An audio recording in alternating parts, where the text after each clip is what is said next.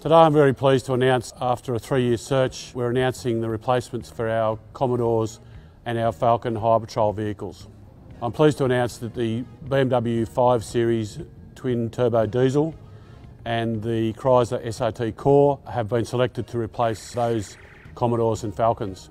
Everyone is aware there is no manufacturing of vehicles in Australia anymore and uh, with the demise of the Falcon and the Commodore brand, New South Wales Police looked all over the world for replacements for those vehicles which have served this state well over the past 20 or 30 years. We look to manufacturers who have previous experience uh, building police cars and we selected these two vehicles from 17 vehicles which, which we subjected to a whole range of tests both on our police driver training track, financial, durability and experience in uh, police car builds around the world. So this is a substantial investment for New South Wales Police.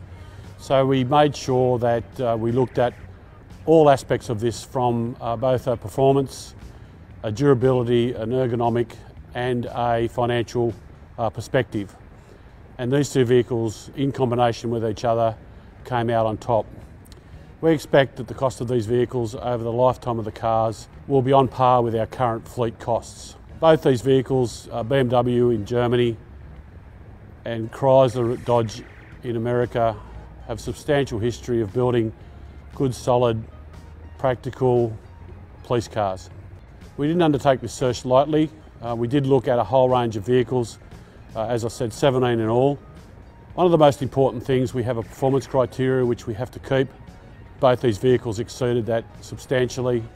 The vehicles have to be durable, but also there has to be enough space in the vehicles for all our considerable technology that highway patrol cars have.